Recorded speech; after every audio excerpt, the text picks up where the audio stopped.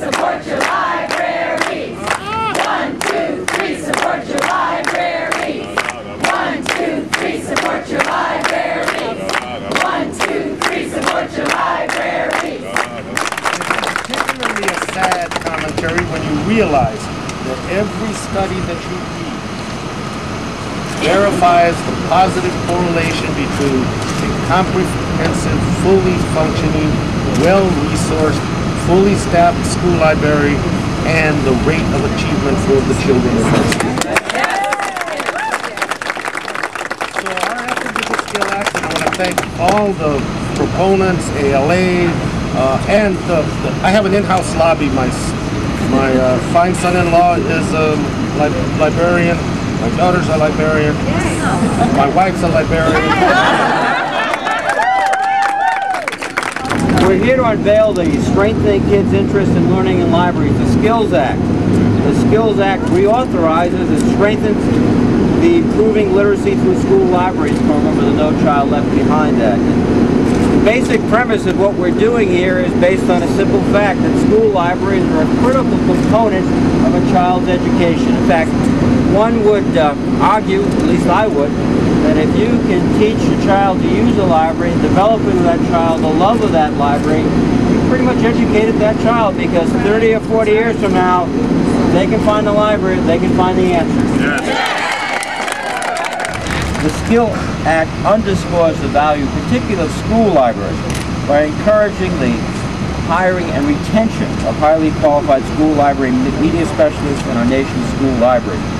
Thank you all for being here on a very hot, humid, sticky, typical Washington day. Uh, next year we'll do this in April. If you know one will be around. You'll be walking around the mall. At least you're here today.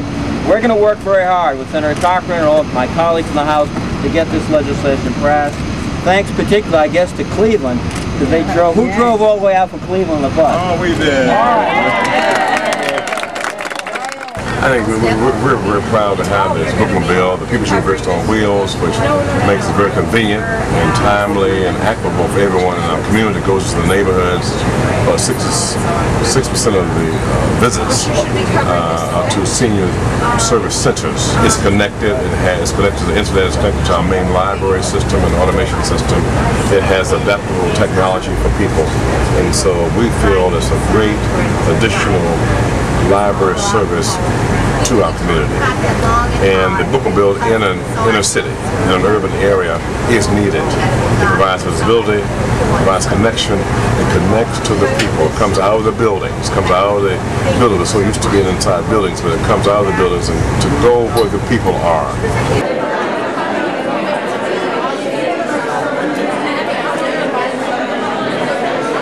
we submitted a proposal highlighting um, our, especially our motto, preserving the past, exploring the future. So we're here to share how Birmingham is, is doing that through technology. People seem to be drawn especially to the children's services because they can relate to the programming that we've got going on with animals in the library, um, with authors. One of the main messages we're talking about today is um, the Heritage Health Index, which is a survey that we did in uh, 2005-2006, trying to assess the state of America's collections. Um, do they have policies for disaster preparedness? Do they have environmental controls in their buildings, fire safety, that type of thing?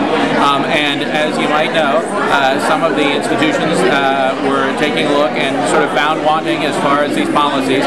So we've been trying to get information out about how to build your own disaster plan, what to do in the first 48 hours after a disaster happens.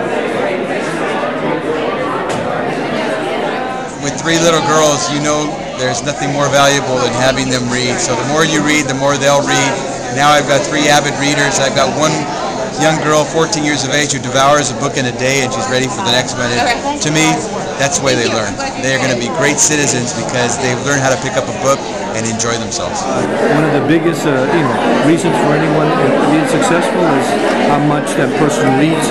And if I, we can give any advice to any young person, uh, is to read and read and read some more.